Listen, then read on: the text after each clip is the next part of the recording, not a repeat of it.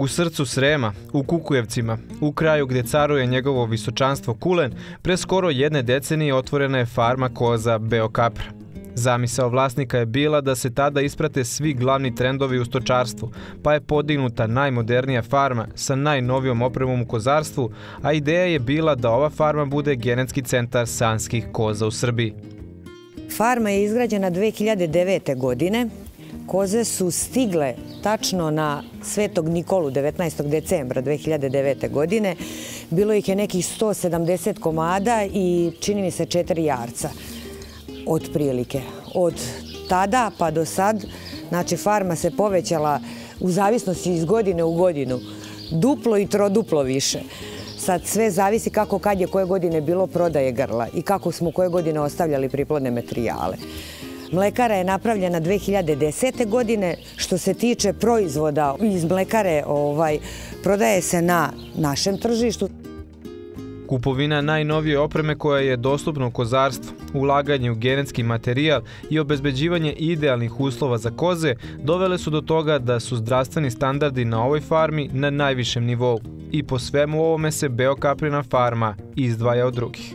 Kod nas se sve analize rade od analize mleka, znači na kvalitet mlečne masti, na kvalitet proteina, na količinu mleka uopšte. To snimili ste tamo na izmozi, što videli ste da ima i vajkatori koji mere količinu mleka, isto tako najmanje šest puta, mada mi radimo i više, mesečno analize mleka koje se šalju na poljoprivredni fakultet i koji nam određuju mlečnu mast i protein.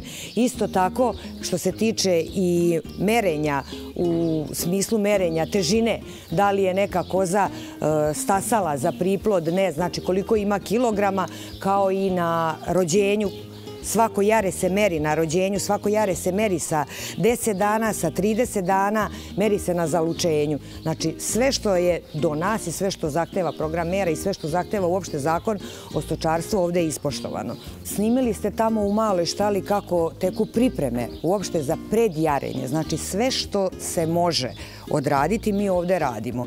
Imamo i veterinarsku stanicu koja je nadležna za nas. E, sarađujemo sa Naučnim institutom Novi Sad upravo zbog toga što su već postali nadaleko poznati po visoko kvalitetnim primercima sanske koze, kozari u potrazi za jaradima neprestano svraćaju na Beokaprinu farmu.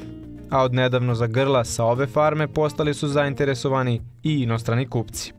Sva grla, naravno, su vrhunskog kvaliteta. Sad imamo uh, u Srbiji ima zainteresovanih, ali to su sve male količine. Ne znam, ovaj 5 grla, 10 grla, 15, to su za nas jako male količine.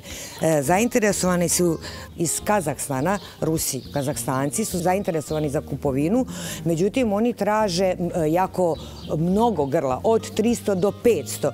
Mi im toliko ne možemo svake godine prodati, jer jednostavno moramo ostaviti nešto priplodnog materijala i za nas. Međutim, ove godine smo na uštrb nas prodali i naša, što smo ostavili za nas, prodali smo njima, znači nekih 300 grla je otišlo za Kazahstan.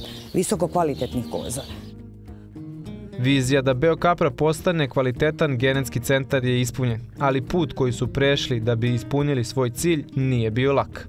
U ostalom to se vidi i na brojnim primerima propalih farmi koje su se u prethodnim godinama zatvorile u Srbiji dosta njih misli da je kozarstvo jednostavno, da je to, šta to uzmeš par koza, da su koze jeftine, koze uopšte nisu jeftine.